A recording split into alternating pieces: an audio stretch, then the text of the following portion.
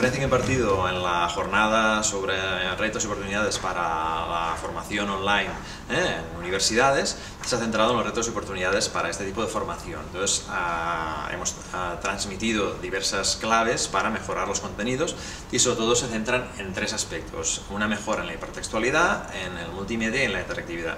La hipertextualidad de lo que se trata es de conseguir un tipo de enlace más elaborado, ¿eh? no colocar hipertexto o enlaces superficiales semánticamente, sino profundos ¿eh? que impliquen una investigación de artículos científicos, libros o documentos que sean relevantes para una materia. Entonces, eso genera más tráfico. Hemos eh, investigaciones estadísticas que reflejan correlaciones de Pearson entre mayor ah, hipertextualidad, interactividad, hipertextualidad multimedia y al fin y al cabo más tráfico y más satisfacción para el alumno final.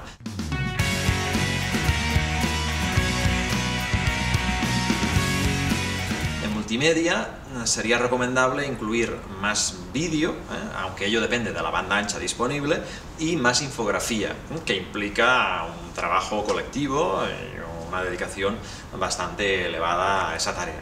Y luego, en cuanto a interactividad, es fundamental que los foros de debate, los foros de las asignaturas, ¿eh? sean muy activos, de dinamizarlos docente los docentes involucrados en ese curso y se ha de invocar eh, de la mejor manera posible la participación eh, del alumnado.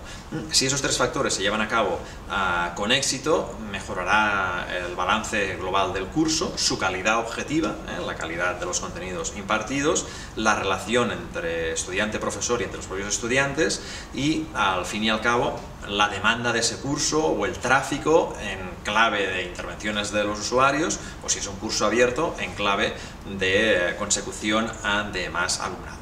El marco actual ah, de la, enseñanza superior online ah, usa esas tecnologías de forma correcta pero mejorable. En alguna investigación que hemos llevado a cabo eh, se observa un uso ah, en algunos casos para cumplir el expediente, ¿eh? pero que podría ser claramente mejorable con más recorrido, ¿eh? sobre todo en lo que respecta a hipertextualidad, que eso sí que depende del profesor, del docente, quizá no tanto multimedia en el sentido de que vídeo muy cargado o infografía requiere unos recursos de los que a veces no disponen las universidades y en interactividad sí que claramente depende del docente en la rapidez y en la calidad de las respuestas. Por tanto, habría mucho margen de mejora en hipertextualidad y en ah, interactividad indiscutible ¿eh? y en multimedia ya dependiendo del factor técnico.